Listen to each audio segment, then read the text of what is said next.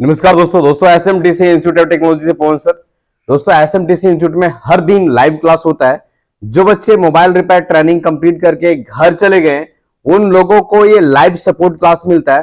दोस्तों, अगर आप S M T C institute में मोबाइल रिपेयर का ट्रेनिंग सीखते हो ट्रेनिंग करके जब आप घर चले जाओगे और वहाँ पे आपका दुकान में यदि कुछ अलग अलग प्रॉब्लम्स आता है या कुछ प्रॉब्लम में फंस जाते हो तो ये लाइव क्लास में हर दिन सुबह आठ बजे जुड़ करके चीज़ों को पूछ सकते हो समझ सकते हो। यहाँ पे हर दिन लाइव आते हैं और प्रॉब्लम को लाइव बताते हैं बच्चे को। चलिए देखिए आज का लाइव क्लास कैसा होता है? Continue good morning sir good morning too बोलिए जी। सर फ़ोटो भेजे थे? देखे थे? जी देखे थे। वही आ रहा है क्या?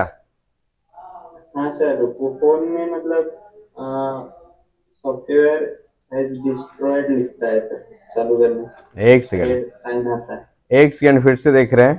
थोड़ा सा स्क्रीन को शेयर करते हैं।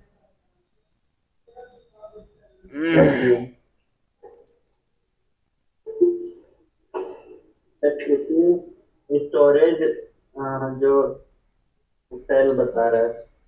ओके मॉडल नंबर क्या था इसका? सेवन ये सेवन ये है ना? स्टोरेज क्या बता रहा है? फेल्ड बता रहा है। स्टोरेज यदि फेल्ड बताएगा तो ई एम ऐसी का प्रॉब्लम रहता है, ठीक है? वो रिवॉल्व करके लगाना होता है। एक बार ऐसा करो, एक दूसरे फ़ाइल डाउनलोड करो और उसको चढ़ा करके देखो।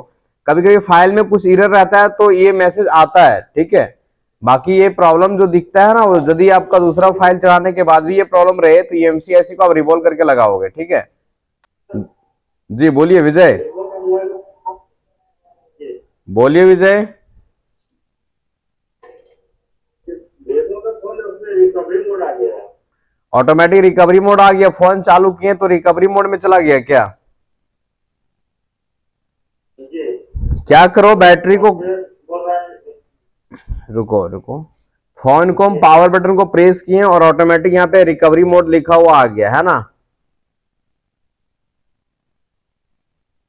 रिको रिकवरी मोड तब आता है जब power button volume up down button एक साथ शॉर्ट होता है, ठीक है? क्या करो वॉल्यूम अप डाउन को खोल करके, चिमटा से शॉर्ट करके ऑन करो। देखो ऑन करने के बाद रिकवरी मोड आता है कि सही से ऑन हो जाता है। यदि सही से ऑन हो जाएगा तो हाँ वॉल्यूम अप और डाउन बटन को खोल देना और शॉर्ट करके ऑन करना, क्योंकि ये problem volume up down power button से प्रॉब्लम होता है, ठीक है?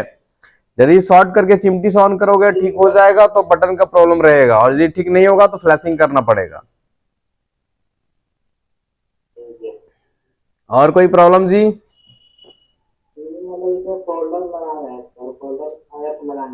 तो फोल्डर नया फोल्डर चेंज किए हैं क्या? तो नया फोल्डर में जब फोल्डर लगाते हो तो फ़ोन ऑन हो जाता है लेकिन फोल्डर में कुछ दिखता नहीं है। तो दूसरा फोल्डर को चेंज करके देखें, क्योंकि बहुत सारे फोल्डर खराब भी रहता है। नया फोल्डर आप लगा के चेक किए तो नया फोल्डर खराब नहीं निकल सकता है क्या? यदि आप दो तीन फोल्डर लगा के चेक करोगे और सेम कंडीशन रहेगा, ठीक है? अगर आप दो तीन फोल्डर लगा के चेक करोगे और सेम कंडीशन रहेगा तो लाइट सेक्शन चेक करोगे, ठीक है? एक फोल्डर पे बिलीव नहीं किया जा सकता है, क्योंकि फोल्डर भी खराब मिलता है। इसीलिए फोल्डर हम लोग जब खरीदते हैं तो दुकाने में चेक कर लेते हैं। कहीं खराब फोल्डर मिले तो तुरंत वहाँ पे उसको एक्सचेंज कर लेंगे, ठीक है? चलिए उसमें दूसरा फोल्डर लगा के देख लोगे उसके बाद भी सेम प्रॉब्लम रहेगा तो लाइट सेक्शन चेक करोगे एनोड लाइन कैथोड लाइन का उसका सिग्नल वोल्टेज परफेक्ट मिल रहा है कि नहीं मिल रहा है? बोलिए अगला प्रॉब्लम जी। सर बोलिए दुर्गेश। सर जो कल फ़ोन सर जो कल फ़ोन आया था वाटर डैमेज का हम्म। सर वो फ़ोन को मतलब दुकानदार को उसको बोल दिया था नहीं बनेगा बोल के। तो सर मेरे पास आया तो उसको पहले साफ़ वगैरह किए जब कॉल किए थे आपको शायद कल हम कि रीस्टार्ट हो रहा है प्रॉब्लम हम्म।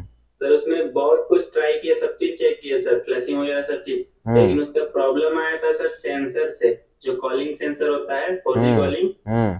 वो सेंसर को आ, उस पे सर पिन वाला था। हम्म। उस पिन को जब उस पे टेप लगा दिए तो उसके बाद रिस्टार्ट होना बंद हो गया सर फिर हम्म। फ़ोन चालू हो गया। वो शॉर्ट कर रहा था इसीलिए रीस्टार्ट हो रहा था। बॉडी से है ना? बॉडी में सटने से शॉर्ट कर रहा था इसलिए रीस्टार्ट हो रहा था। वहाँ से काफ़ी ज़्यादा फोनों में इस तरह का इशू आता है ठीक है? तो कभी होता क्या मिस्त्री लोगों के साथ यदि कोई दुकान वाला बोल देता ना कि ये नहीं बनेगा बनेगा रिटर्न आया हुआ तो जैसे उसके पास फ़ोन आता है ना सोचता कितना बड़ा टफ काम होगा जो कि नहीं बना होगा। दुनिया कोई बोले उससे मतलब नहीं। आप चेक करोगे तो छोटे छोटे चीज़ों को चेक करते हुए जाओ धीरे धीरे आगे। हंड्रेड परसेंट बनेगा। एक भी चीज़ों को स्किप मत करो। वाटर डैमेज में सर हम सबसे पहले उसको क्लीन करते हैं। जी। उसके बाद उसका चार्जिंग लाइन ओके करते हैं जी। उसके बाद फोल्डर पे काम जाते हैं। फोल्डर में अगर प्रॉब्लम हुआ जी। तब जाके मदरबोर्ड में जाते हैं। जी बिल्कुल क्योंकि पानी में जाने से फोल्डर खराब होने का भी संभावना बहुत अधिक होता है। वहाँ पे बता रहा है कि व्हाट्सएप में भेजे से आपके यहाँ। हम्म। देखते हैं।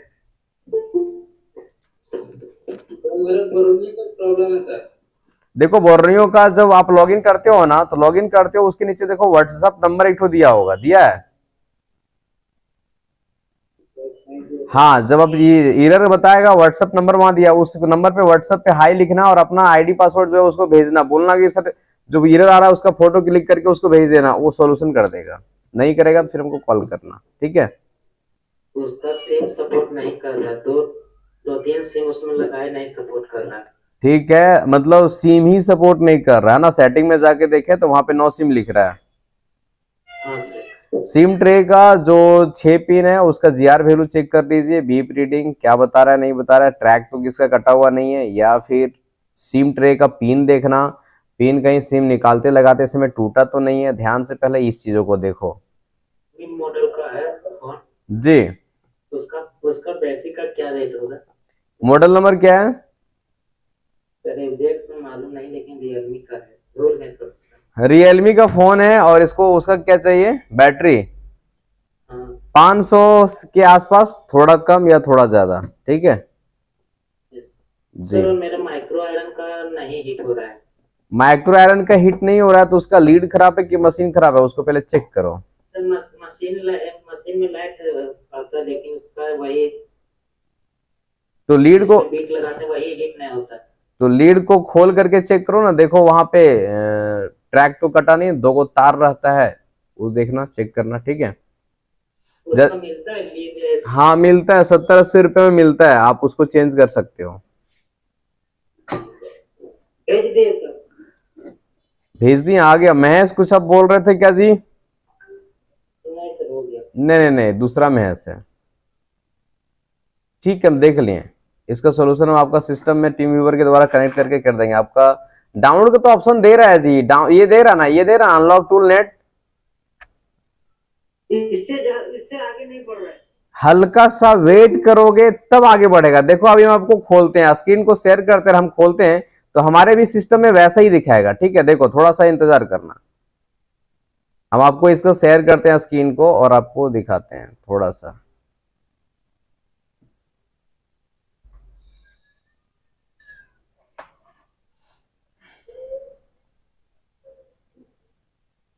स्क्रीन शेयर हो गया क्या?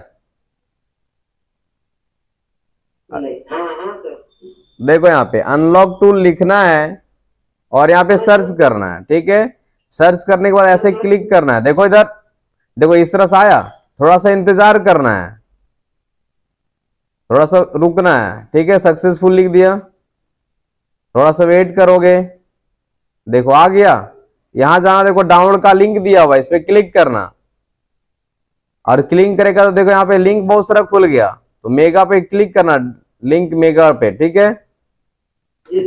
और यहाँ पे देखो ये मेगा का साइड अपना खुल रहा है। और यहाँ पे सेव पे क्लिक करना। डाउनलोड होना स्टार्ट हो जाएगा।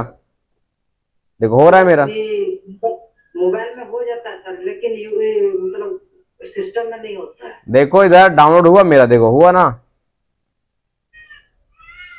ठीक है? सिस्टम में देखो इंटरनेट आपका अच्छे से कनेक्ट है कि नहीं ठीक ना? जी सर। बिना इंटरनेट का तो नहीं होगा।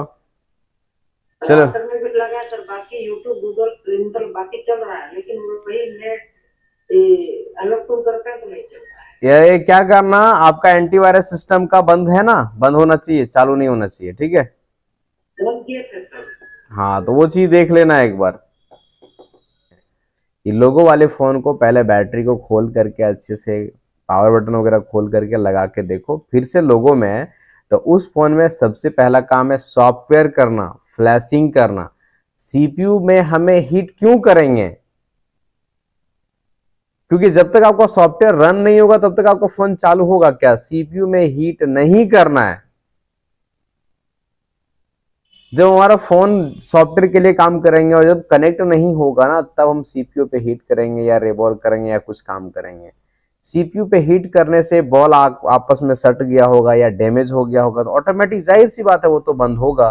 अब एक ही ऑप्शन है उसको चालू करने के लिए कि एक बार सॉफ्टवेयर के लिए कनेक्ट करके देखो हो गया तो ठीक है नहीं हुआ तो सीपीयू को खोल करके बढ़िया से रिवॉल्व करके और लगाना पड़ेगा और कोई ऑप्शन नहीं बचेगा। बात समझे?